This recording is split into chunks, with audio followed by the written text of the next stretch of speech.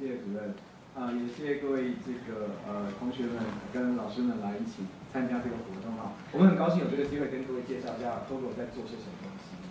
可能大部分人都觉得说这是一个，听到我们公司觉得说我们是一个做电动摩托车的公司，没错，我们的产品是电动摩托车，但是我们从来没有把我们自己定义成电动摩托车公司。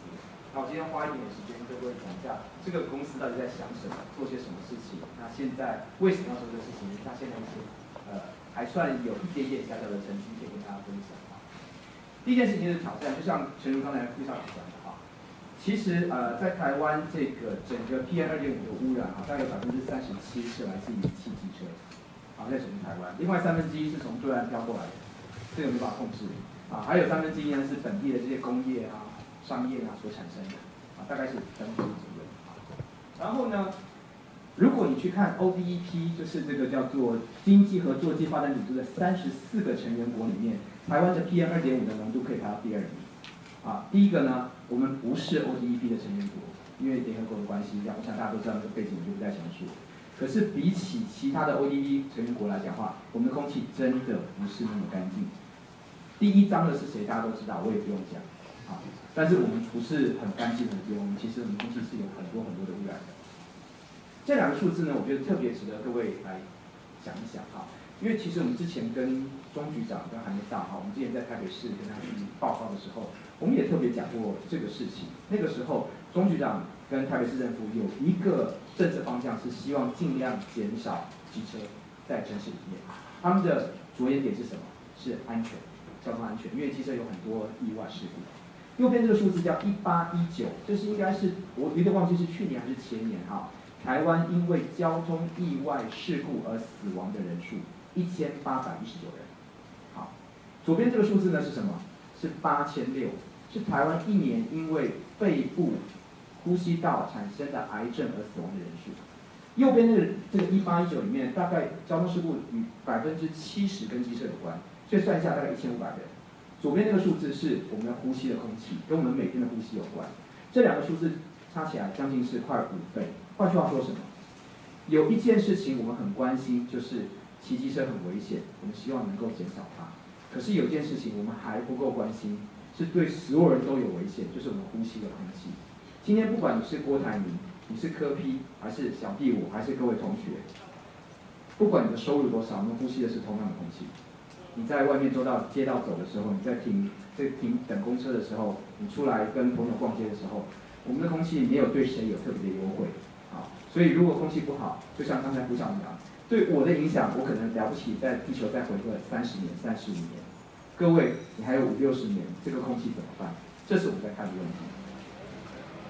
这就是台北，每天台北连外桥梁共十一座，啊，每天都有机车这样子进来。那这个台北桥已经是全台北是一个重要的观光景点，哈，日本人来跟外国人来都会去这边特别照个相，因为这个叫这个它的全名叫做机车瀑布，就是从早上七点钟一直到十点钟。一直不停的有车下来，没停的。我相信各位同学可能都已经去过这个地方啊。城市空屋死亡率是一件事，我们很重重意的事情。为什么？大家为什么来到城市里面读书就业？因为我们都知道城市里面提供更多的机会。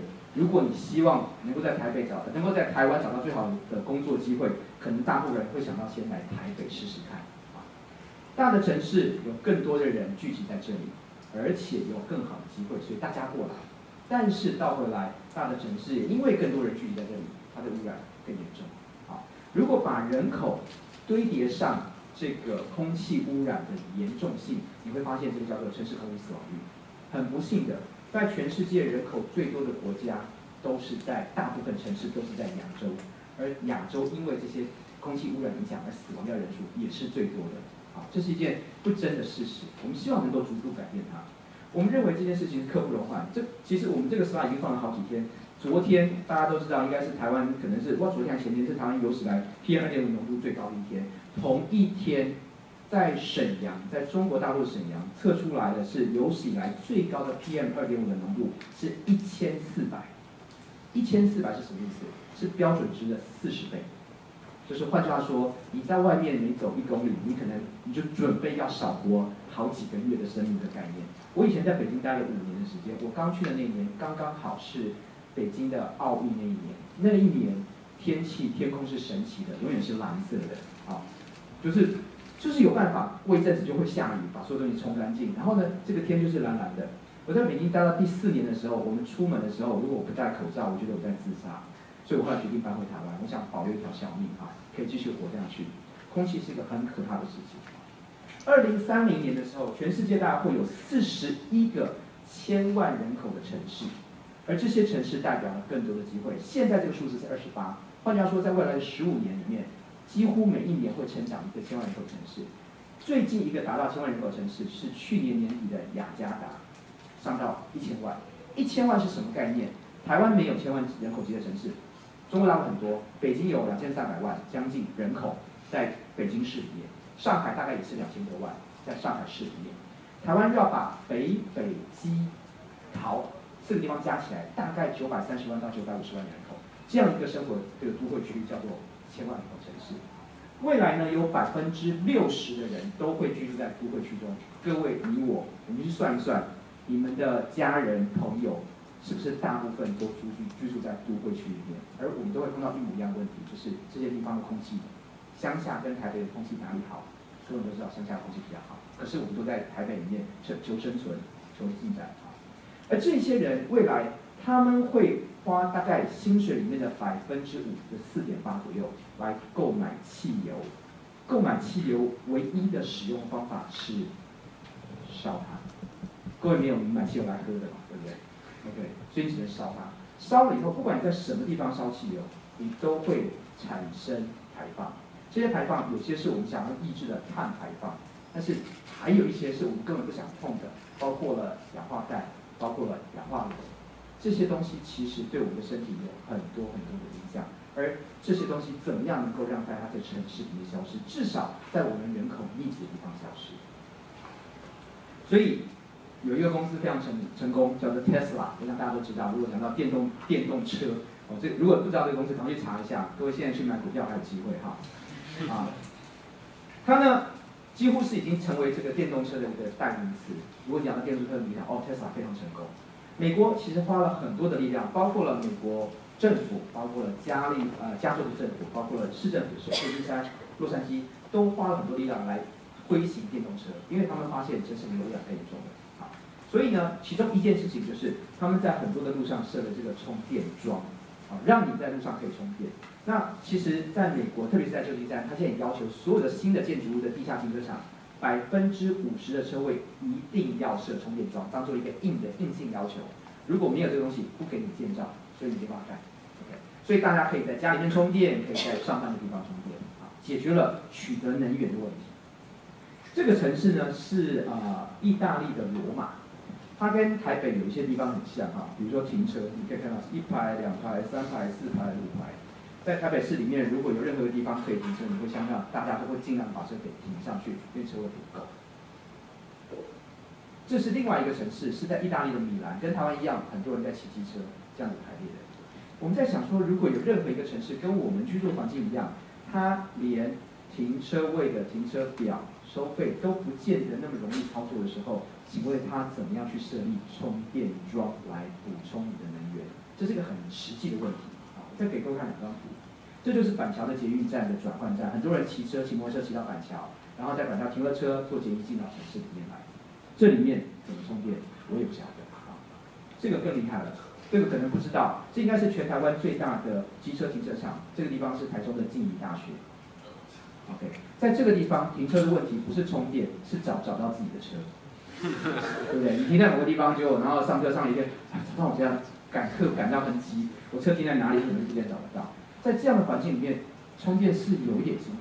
我们认为没错，电动车的方向跟机会点似乎来了，可是好像这些东西要把它移植到我们生长的环境，台湾或者是东南亚城市，它还是有这么一丁点的困难。所以我们希望能够开始改变。我们认为让空气变好这件事情非常重要。同时，我们也认为电动化会是一个趋势。刚才我们跟李尚聊哈，呃，有很多人说啊，你们电动车，电动车用的电是怎么来的？还不是烧煤烧油出来的？那这个东西环保吗？啊，对，好像也不是这么的干净。但是有几件事情是不变的。我们就说现在有很多的再生能源的可能性，不管是太阳能，不管是风力发电，不管是潮汐发电，它们都可以产生电力。当科技往前推进的时候，这些电力的产生的效率会越高。第二件事情，发电这个事情不会在你家隔壁发生的。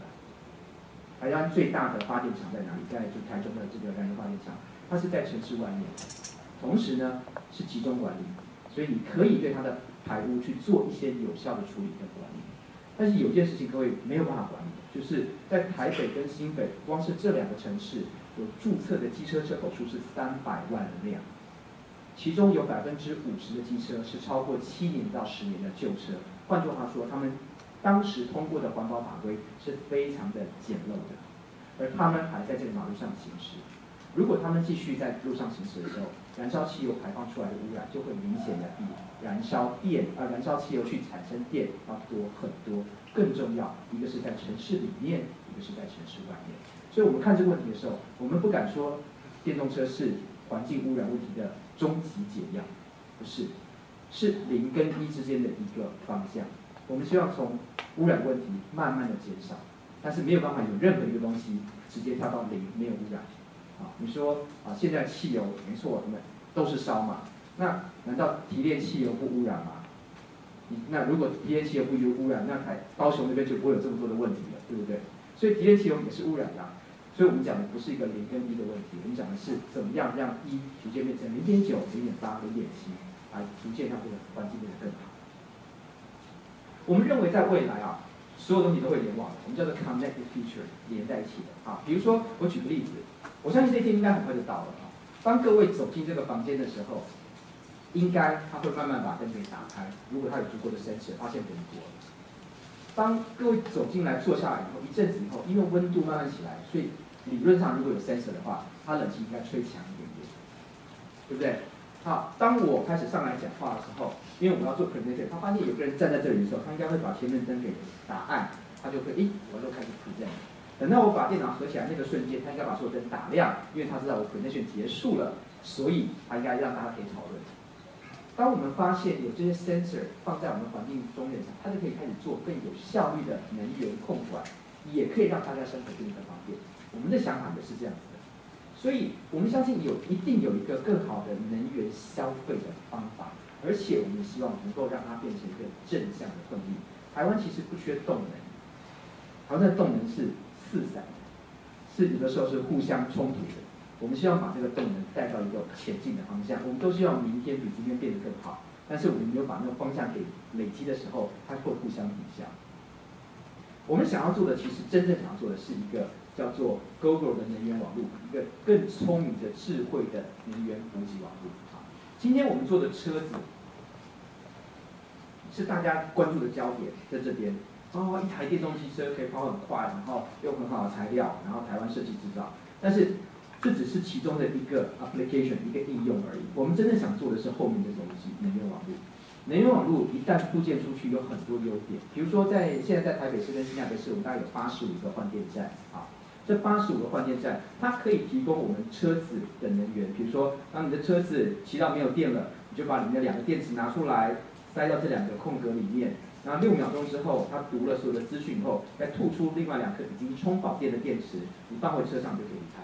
那基本上中间你不需要再缴钱，不用再停下来开什么油箱盖，你只要做的就是中间跟我们有一个月租方案，有点像各位在今天在听的 KKBox、Spotify，就是一种 service，一个月费的概念啊。所以呢，你很快可以取得能源。未来这个电池还有很多很多很多的用途。今天我们提供的是两轮车，哪一天我说不定可以做一个三轮车、四轮车，有顶棚的小型的汽车，甚至再想远一点，台大校区这么大，草长出来要不要除草？要。你现在除草机是拿什么东西去去驱动它？柴油车，对，柴油引擎，就嘣嘣嘣嘣嘣嘣。上课的时候啊，好吵啊，听不到老师在讲什么，或者说啊，对不起，害我睡不着了，啊，很吵。有一天它可以电动化，它可以要用这个电池，啊，有的时候你在这个大安森林公园，发现他们已经在这个在清扫行道树，已经不是用扫帚去扫，拿那个风那个 blower 那个吹风机挂在身上，吹把所有叶子吹在一起，然后把它清除掉，那也可以电动化。只要是在城市里面不是非常有效率的在燃烧石油的东西，我们都可以想电动化。或许各位有去赛过卡丁车吧？对不对？你如果知道有一天卡丁车用电动驱动的时候，那东西多好玩，你会发现很多生活的东西都可以不要制造噪音，不要制造污染，但是仍然有它原来的效应。这是我们想做的事情。所以二轮车辆只是我们的开始，我们希望有一天可以慢慢的走出去。啊，再来就是智慧型手机，也因为透过智慧型手机跟车子连接，所以我们有机会去拿到车子的用户是怎么样使用它的。待会儿会不会再分享一些我们已经有的数据？你可以发现啊，这世界想的，我们想跟世界上实际运行方有点不大一样。大数据也是我们整个这个作业里面非常重要的一环，因为透过使用者每天累积的数据，我们有办法知道他们是怎么样用东西，或者我们能够怎么样更好的服务客户。对于我们来讲，要能够取代掉现在的汽油车，它有一些基础条件要去满足。台湾推行电动机车已经推行超过四年时间，我想问钟局长，待会台会就知道哈。那四年来，其实成果都有限，都非常有限。每一年政府想要提供的电动机车的购买补助，从来在过去四年没有一年用完过，没有一年用完过。就是换句话说，政府想要推，但是用用户不想要买。今年是第一年，台北市跟新北市都被用完了，因为我们开始卖车了。我有点自豪的讲，那是因为我们开始卖车了。所以呢，他一下啪用完了，然后才会说，哎，那用完了该怎么办？这个时候他们在想说，啊，那我们该做些什么事情？我们在问客人说，你为什么不买电动机车的时候，过去四年来为什么不买电动车？他们说有四个大问题，我不买电动机车。第一个大问题，骑不快。你的印象里面，电动机车大概都是骑四五十公里、五六十公里到顶的啊。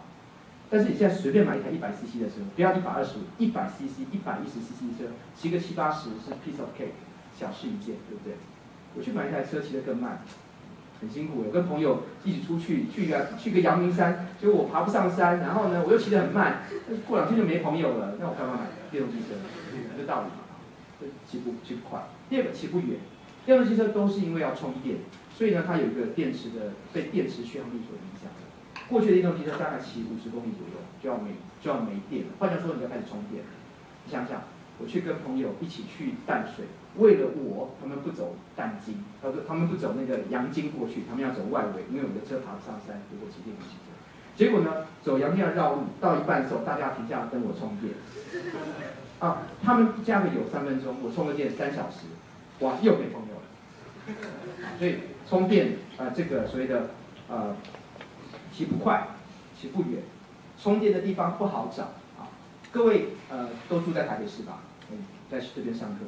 啊，不管是租房子还是自己房子，在台北市大部分的大部分的台北市房子其实是公寓，啊，大概四楼五楼。如果你在公寓里面居住的时候，请问你的摩托车停在哪里？很多公寓是没有地下停车场的，只能停在巷口，对不对？就是巷口。如果上次里面找不到停车位，有时候你回家哦有车位，心里还爽一阵子的，对不对？刚好可以停下去。你怎么充电？你住四楼，你空投一个这个延长线下来，结果。第二天发现，除了你的车子没有充到以外，其他人的手机全部都充满了，没有办法，所以充电是个大问题。再来，我刚讲充电时间很长，大部分你要把一个车子从没有电充到完全有电，大概六个小时跑不掉。换句话说，你要充。一个一整个晚上啊。这四件事情让大家就是说，我干嘛花钱去买一个罪受？我又骑不快，又骑不远，充电地方又很难找，在学校不能充，在家里不能充，然后呢，充电时间又这么长，所以没有办法接受。所以，当我们开始做这产品的时候，我们第一开始就把这四件事情，我有什么办法一定要把这事情给完全的去除掉，才让大家有机会去接受它。所以我们设了四个指标。第一个呢是性能，它必须要跟一百二十五 cc 有接近的性能，如果不是超越，起码要接近。啊，第二个是操控跟安全，它必须是同级车里面最好的，因为当你越用新的产品的时候，你越希望它可以带给你更多的便利。操控安全很重要，所以我们后来用铝合金去做车身，是因为能够在操控跟安全上达到一个最好的平衡。再是续航力，我必须老实讲，今天有任何人卖你一个电动交通工具，说它比汽油车可以跑距离更远，他就在骗你，包括我在内，没有这种东西。啊，今天没有。可是我们认为科技的演进可以让我们的电池技术有机会在那一天达到它的距离会比汽油更远。有一天不是今天，就好像各位五年前你买的手机。或者更早，如果你有开始用手机，跟今天的手机能比吗？不能比，对不对？可是你那时候买手机的时候，那搞不好已经是市面上最好的，它也不过就是这样而已。可是你有办法想象五年之后的手机长什么样吗？我是想不出来，我认为会很厉害，可是我不知道该怎么去描述它。我也认为在五年之后，电池科技可以变得非常厉害。当有一天用电比用油便宜，而且可以跑更远的时候，你们的选择都会是电动车。这时候我就不用推了，大家都会这么选。就好像你现在去买电视机、买手机，你会买不是智慧型的手机吗？你不会。你会买不是平板的电视机吗？你不会。因为科技已经翻转，我们认为科技有一天会翻转。今天我必须老实告诉各位，没有电动车可以跑的汽油车源，没有。啊，但是一定万事有个起跳点，起跳点是什么？一百公里，这是我默认大家以后，如果你的电动车可以跑一百公里，我心理上觉得比较安心。不只是心理安心，安心，其实它是后面有数据在支撑的哈。台湾平均这在一百零二年交通部运营所做的运输年度报告，台湾一个月平均机车。用户骑的距离一个月每个人四百公里，啊，另外一种叫做高运量的驾驶，就是说他骑的比较多，可能上班上学每天要骑的，平均一个月六百公里。我们就拿六百公里来讲，六百公里除上大概每天我们讲的是二十天或二十五天，因为你不是每天在骑，有些人不会骑，大概一天二三十公里搞定。所以如果是一百公里的距离，你大概三四天换一次电，你觉得可以接受？现在各位的智慧型手机是每天晚上充电，因为你每天用电用的很凶，对不对？好，但是三四天换一次电，你心理上可以接受。一百公里听起来是个大数字，也绝对可以接受。我都会再告诉你，实际上用户花几天才换一次电脑？你会看到这数字上去啊。最后一件事情要创新。我刚也是问到一个问题，说五年前你买手机，五年前的手机跟现在手机的变化应该蛮多的，大家都很清楚。五年前的汽车跟现在汽车变化都多，也非常的大。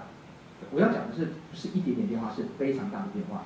今天的汽车，它会自动倒车、自动停车、自动跟车，搞不好还会自动驾驶。这是两个礼拜前，Tesla 新新出了一个新的 firmware，它把所有车子就变成可以自动驾驶。这些事情都已经发生了。那我想问各位，五年前你买的机车跟今天买的机车什么不一样？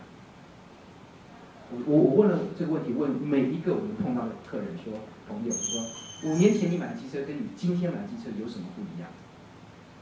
陶瓷气缸，你知道陶瓷气缸？我在念大学，我在这个地方念大学的时候就有陶瓷气缸的。什么喷射引擎？我我大学毕业以后就有喷射引擎。双碟刹，那时候所有车很多车只要是搭档的都有双碟刹。五年前的机车跟现在机车好像科技上没有什么不一样，但是有件事你们都知道，五年前机车比现在机车卖便宜很多。我讲的这也是实话，去查查五年前一台车。但我还是大学生的时候，一台机车三万八千块钱，一百二十五 cc 很贵了。现在一台一百二十五 cc 机车，动辄是七万多块，你买个新星站七万九千五百块钱，对不对？有很大的差异吗？没有。我们希望能够做一个在这样的一个世一个环境里面做一个不一样的产品，把我们各位知道的这些三 C 高高技术、高高能量的一些技术带到车的环境里面。为什么要这么做？很多东西哈，一旦你跟它有一个很高的使用率的时候，理论上应该变快、变快、变好、变得更快。但是很可惜，在这个机车这个世界里面并没有发生，真的很可惜！呃，我们希望能够把科技的力量带到这个行业里面，就好像我们找到了一个真正的蓝海。如果各位的科技，各这个科技可以让各位的车子一年比一年更聪明，你会觉得它价值更高。各位每次在 iOS 从八点零到九点零有多少人去升级？Android 有新的版本进来，你去升级，你觉得你的手机好像有重生一样，拿了新的功能，但你就花钱。各位有哪一台车子有做过这件事情吗？你的机车可以，今年的机车比去年同一台车功能更多的没有，我们会做到这件事情。我们希望可以每一年把车子升级，让车子越用越好用。但是你的投资下去的成本是固定的，所以我们做了这台车叫 Smart Scooter 智慧双轮。很多人看到哇，就是一个电动机车，所以可能用过去的方法说啊，你大概是也跑不远、跑不快，等等等等。其实这些已经完全被我们打破了。我们车子最高时速可以骑到九十五，有人骑到一百多。我们车子换一次电可以骑一百公里。我们的车子可以跟手机连线，可以让你客个人去克制化你的车子。我们车子是铝合金打造、水冷的电动马达，所以它可以一直一直不停的往前跑。我们一个周末经常一个车去就是一百八十公里、两百公里在跑，一天就一直在跑。没有任何问题，这是改变科技改变这个东西。所有东西是台湾生产、台湾设计、台湾制造，这是我们很骄傲的一个地方。因为这个这个产品是属于台湾的。你要是知道，如果现在有任何一个记者去问说，我要找到全世界有一个品牌或一个城市，布建了一个非常完整的智慧的电能交换系统，而且运用在实际的生活上，只有一个地方能够找到这个系统，就是在台北。那个系统不是 Google 建的。很多的记者，你待会可以看到，远渡重洋跑到台湾，就在报告这件事情，因为别的国家没有成功过。那我们的电池也是特别，因为要有这么多的电量，所以它必须要做的很安全，它也做的，它也要做的很耐用。所以这我们花了很多时间力气去打造这个电池。好，然后透过手机，我们可以让客人客制化，也可以把大数据上传，跟跟跟我讲看会做什么东西。好，那最重要的就是我们讲的这个所谓的电池交换站。好，这个交换交换站在台北市新北市已经有八十五座，然后我们下个礼拜应该在桃园就可以开到。另外的八座，到年底之前，应该真正能够盈利的站有应该有一百二十个站点左右，然后所有计划中的站应该达一百五十个站点左右。我们在车上装了非常多的 sensor，每一台车上有三十个 sensor，每个电池上有二十个 sensor。我们说装这个 sensor 干什么？我可以告告诉你好多好多的运用啊，有些是已经发生，有些是呃这个计划中的。比如说，任何一台车子，如果你的方向灯不亮，我们的 sensor 会看到。然后呢，它会 push 一个 notification 到你的手机上面，告诉你说你的灯不亮。你在交换电池的时候，屏幕上会跑出来说你的灯不亮，你要拿去修。为什么对于灯不亮这件事情有这么大的要求 demanding？因为你如果知道台北市有多少交通意外是因为前面或旁边的车子没有被看到而产生的，你就知道灯不亮这件事情有多可怕。大部分各位在骑车的时候，或者是开车的时候，你都不知道你自己的尾灯不亮。上车之前，你的灯不亮是正常的。上车之前，你的灯如果亮，你会担心灯会发不动，对不对？OK。上车之后，没有一个人脖子长到可以看到后面的尾灯有没有亮。等到别人后面看到你尾灯不亮，想要追过来说，你说哇，谁要追我？然后你就加速跑掉了。所以你永远不会知道你灯不亮。我们想要告诉你，你的灯不亮，因为灯亮着很重要，非常看见。第二件事情，如果你骑车骑骑乘当中，你的手机跟车子有连着，因为我们车上有机声水啊，所以说你车子倒车了，在骑乘当中倒车了。我们会知道，好，你可能说在台北市里面这件事情没有那么重要，没错。可是如果你哪天跟同学约了早上一起去海边看个日出，然后你出门的时候天还是乌漆嘛黑的，又刚好要走过这些滨海的山路的时候，你摔车了，你要找谁？没有人可以救你，老实讲。好，所以如果有人骑乘中连线中这个机身是作动，我们会想办法打电话回去问说，哎，先生小姐，请问你还好吗？如果你能接电话，表示基本上你没大碍，我们可以想办法去处理。如果你连电话都没接，那下面一件事情我可能会找一一零，想办法去看看你在那个最后的位置能不能够帮助到。这就是 sensor 带给我们这个科技的好处。还有一件事情，我不知道各位知不知道，我的时候那时候台北市政府方案，现在还有人在说？台北市有个很有名的方案叫做录屏方案，我想大家都听过吧？录屏方案是干什么？就是看那个路上有坑洞，打电话跟台北市政府讲说，哎。你这有坑洞，把它补起来，免得有人在那摔车啊，或者是造成一些交通一些状况。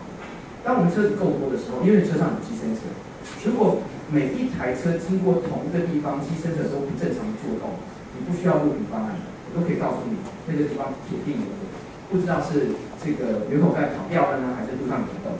因为机身车在同一个时间，呃，不同的时间在同一个地方同时作动，就表示那地方有问题。很多的 sensor 在城市里面可以帮助当做城市跟政府管理的触角，来让人的生活使用更安全、更有效率。这是我们在做的事情。在今年的年初，我们去了 CES，就是呃，应该是全世界最大的消费电子产品展，所以我们发表了。呃，有十七个媒体给了我们讲，我们没有一个是我去申请说我要去参加比赛的，他们自己来给。他们终于发，他们认为他们发现了一个新的产品。他把智慧科技、能源、绿全部绑在一起，而且有一个非常完整的解决方案。在这个呃参展之后，我们拿了十七个文件表上两百多篇原创的报道，有两百三十个城市全世界各地希望说各位可以到我的城市来贡献，我们就选一个城市，就是台北。啊，为什么？两个理由。第一个，我们来自于这个地方。我问各位，iPhone 每一年上的时候，台湾有哪一年首发过？我在苹果待了五年，第一份工作在苹果，从来没有一年新产品在台湾身上，因为市场太小。如果今天我们好不容易做一个产品，全世界都很关注，我们还拉到别的地方去，开始发飙，说这个东西我们很笨，你这东西很傻，去国外卖一卖得了奖卖得好，再回来大家都会觉得你这很有价值。可是我觉得不相信，说最好的东西当然先呈现给，先呈现给自己的同胞吧。所以我们赞助台湾，我们先来去台湾做起，这是第一点。第二个原因是，也是因为台湾的机车持有率非常的高，台湾有两千三百万人。台湾有一千三百五十万辆机车，如果扣掉了年纪不适合骑、年纪小的没有驾照，几乎几乎啊是一人一台机车。你在每个人的生命里面，几乎都拥有过机车或者骑过机车，这是台湾的现状。第二名的国家跟台湾差了一倍，台湾的平均每千人的机车拥有数是五百八十三台，第二名国家只有两百八十台，那个国家叫做呃泰国，第三名是印尼。所以，如果能够在台湾，我们能够一开始改变大家骑行习惯，我们相信这个东西可以到全世界任何地方，帮助他们改变当地的环境，改变当地的交通。在这一年来，我们也陆陆续续是收到很多，包括日本、这个是德国、美国、台湾当地的报道，继续在追踪我们做的怎么样。好，这个是大概两个礼拜前的一个事情。哈，Forbes 富比士。他做了一个全球 IOT 的新创公司的一个研究，他挑出来全球一百大的物联网新创公司，里面台湾上榜的只有一个公司叫 Google，第七名。啊，但是如果你看这一排这一排数字叫做成长指数，啊，如果用成长指数，成长指数怎么算？就是说你产品做了没有，客人的这个有没有正式上市，然后呢？Internet 上面对你的评价、你集资能力、你的管理团队等等，如果综合来看一个成长指数，跟我在这一百个公司里面排名是第二名。好，我们觉得我们做对了一些东西，当然有些东西我们也没做好，所以网络上的批评很多。有些人说啊，你们可以这样，你们可以那样那样那样，我们都有听到，我们也努力在做。但是我相信台湾有一件事情是真的做得到，如果我们有心去做，台湾有最好的能力去整合软体、硬体、软体。没有一个国家有台湾这么好的地方跟环境，可以在三个小时之内去到岛里面的任何一个城市，找到那个行业的专门家帮你解决问题。这个房间里的所有东西，台湾都做得出来。我讲的是所有大大小小的。可是你把这个事情搬到日本、搬到美国、搬到中国大陆，对不起，你一天之内处理不了这个事情。台湾有一个这么好的环境，各位这么优秀的人才可以把事情做好。我们要对自己有信心，我们是做得到。但是做大的梦的时候，一定会有很辛苦的困难在各位前面等着他，这是永远是会发生。我们选择在台北开始改变，好，所以这是我们的展间。你可以看到，我们尝试的尽量不要让这个展间看起来像卖机车的地方，因为它是你的生活，它是一个科技的产品，所以我们尽量把它做的更像是一个生活的延伸。好，这是我们的维修厂。这是我们的保养厂，那我们老板很龟毛，他说你一定要用白色的。哇，他当他说要用白色的地板的时候，所有人都哭，你知道吗？几乎是怪我，不要说维修厂你做白的，你知道要花多少时间去清那个地板？哦，太好了，因为是白的，所以任何东西掉地上就马上看到。为了要保持它白，所以大家就会立刻去清它。如果今天地板是绿的、黑的、灰的，对不起哈，够脏了以后你才会去动它，所以那个地方环境不好，这是第一点。第二点，你可以看到哈。因为是白色，白色是反光最好的材质，所以我可以在里面用最小的灯光，但是可以保持室内非常的明亮，而且白色让你觉得有科技感，就往前面带亮。很多东西我们都会考虑，怎么样让消费者有一个完全不同体验。如果今天你使用了 GOOGLE 的车，变成 GOOGLE 的用户的时候，我会相信有一天你要转回油车的时候，你会有新的进入障碍。这是我们想做的事情。目前在台湾，我们有台北，但是台北呃就是等于是台北跟新北市有八十五个这个换电站，可以看到，基本上在台北市一块里面已经非常的点都做出来了。沿着滨海，我们有一些点到，我们这个月是在拓展桃园，下个月新竹，我们希望可以让车子一路从台北骑到新竹，再骑回来。七月二十五号是我们第一台车交给客人，其实我们大量交车应该是八月初啊。我们客人拿到车以后，就开始把车骑到各式各样不可能的地方，因为他们总觉得说，啊，电动车上不上得了山，下不下得了海，能不能骑到这个什么地方？所以呢，他们就开始去骑各式各样的地方，观音大桥、这个擎天岗、大屯山、珠航，这台北市最高的制高点啊。石门洞、基隆港全部都都去了。我们车讲说可以骑一百公里，我们真的可以骑到一百公里。我们说我们车可以上山，我们车真的可以上山，而且是双载，而且而且还会双载还会超速，还是会吃罚单，啊，这些东西都已经被他验证出来了。到目前为止，哈，GoGo 我们在大台北地区的市场占有率是电动机车的个人市场占有率是百分之九十三。换句话说，每十个人在台北跟新北市买给自己用的电动机车，有九点三个人选择的是 GoGo。这是为什么把那个电动机车的这个补助名额全部用光，是因为这个原因啊。第二个，全台湾，一本我们只在台北跟新北贩卖，全台湾每三个人买电动汽车给自己用的时候，有两个人是买的是 GoGo。换句话说。其实所有的消费几乎都集中在台北跟新北。三个月时间，我们的用户一起创造了一百万公里的总里程数。我怎么会知道？大数据。今天没有任何一个车商，没有任何一个能源提供业者，包括加油站，知道车子离开了我的这个商店的大门或者离开加油站以后，它去哪里？怎么走？怎么使用？没有人知道。但是因为每一次回来交换电池的时候，我们都会把你的里程给 log 下来。我们很清楚我们在哪一月哪一号的几点几分总里程数是多少。我们对个人的隐私没有任何兴趣，但是我们对于大家一起制造的一个行为模式非常有兴趣，因为这就是大数据未来可以提供我们更好服务的地方。我们希望实践社社会城市，那我们到底做些什么东西呢？我可以告诉你，很多时候我们刚刚刚开始上市的时候，人家就说啊，买那个车一定是有钱人的玩具。啊，如果是玩具，你就不会骑太多吧？OK，这是我们上个礼拜的数字，每个礼拜的数字都有些微调。上个礼拜数字，我们全体用户平均每个礼拜骑乘的里程数是一百四十七点一公里，每一周哦。换句话说，一个月他们要骑快将近六百公里。买玩具没有人骑六百公里。的，六百公里就是我们刚刚讲的，是台湾平均高入量的每天在骑车的人在骑的。我们的用户真的骑的非常多，多到已经完全不用油车的机车，甚至很多人的汽车很多的时间没有去发动，这是一件事实，这是数字跑出来的东西。第二件事情，到底可以跑多远？我们现在路到最高的里程，真正跑的话是一百三十一公里，交换过一次电池。每一次交换电池的剩余电量是百分之三十七，所以人家一直在买车，这就是说，啊，你们电池用光了怎么办？掉枪怎么办？够了怎么办？一大堆问题。我告诉你，大家都是聪明人，没事会不会找自己麻麻烦？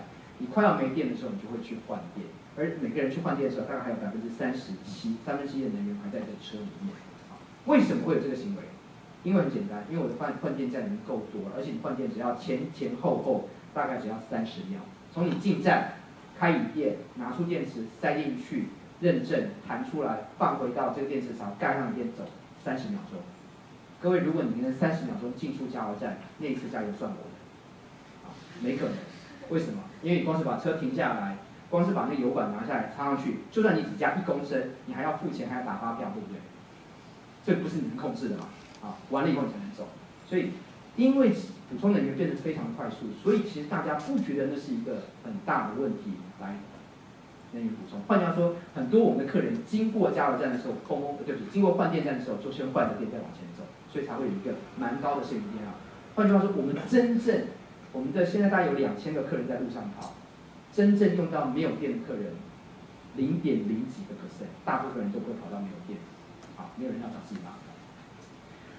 我们有八十五个站，但是实际上百分之四十的交换在十个站里面发生。大家都说啊，你在台北市如果没有比加油站做到更多，就是不方便。这是印象上的不方便。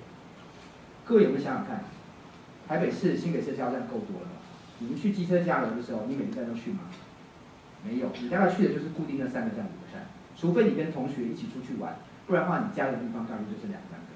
每个人的生活模式是非常固定的，取得能源方法也是固定的，所以呢，我们从数据里面看到，其实大部分的能源交换都在一些固定的场合发生，所以才会有百分之四十在在里面，百分之十里面加油站发生。好，但是倒回来，大家都希望加站的这个换电站的布点要更多，就会更方便。这个我也知道，只是一个是心理层次的认知，一个是使用层次的这个这个数据。我们从这边可以看到一些端倪。我们还会继续盖站，盖在更多的地方。但是我们也相信，最后其实我们要盖的不见得是满地的站，而是有更大的 capacity 的站，让更多人可以在那些站交换。比如说，我们有一两个站离这边很近，是交换的热点。我们有一个站在信义路上面是交换热点，我们有个站在我们自己的啊八德路的店里面也是个交换用点。啊，我们看得到哪些站大家最常用，我们也很清楚几点到几点是换电的高峰。啊，各位你知道？一般人取用能源加油站的时候，会几点到几点是高峰？啊，都是早上或晚上，对不对？你不要太，可是实际上数据告诉我们，早上从来不会是高峰，永远是晚上。为什么？拜托，我赶着上班，我去加油。要是不是最后真的最后一滴油都没了，没有人在早上给我加油。所以在早上，在每一天的大概下午四点到五点之前，其实都是非常平均的。用的不多，可是快要到下班的时间，大概四五点之后，一直到晚上九点，都是大家取用能的高峰。这个是数据跑出来的，好，所以我们也有别的方法来打正客户的使用方法。这个可能有时候我们在有些在问。好，平均换电的日期，我们算了以后，三点九天才会来，才会换一次，三点九天才会来换一次。所以跟当初我们在预算的一百公里三天差不多很接近啊。所以大家的使用习惯很清楚的可以反映出来。更重要，或者是我们认为最重要的是，在移动时留在这个城市里面的空气污染，跟这个碳排可以接近到是零。所以我们相相信，一八一九这个交通意外的数字，它可能因为管制或者严呃更好的这个交通管制或者更严谨的发照方法可以减少，但是八千六这个数字，希望透过更多的人使用。绿能交通工具而逐渐的好转。OK，这是一个很简单的一个报告，跟大家，谢谢。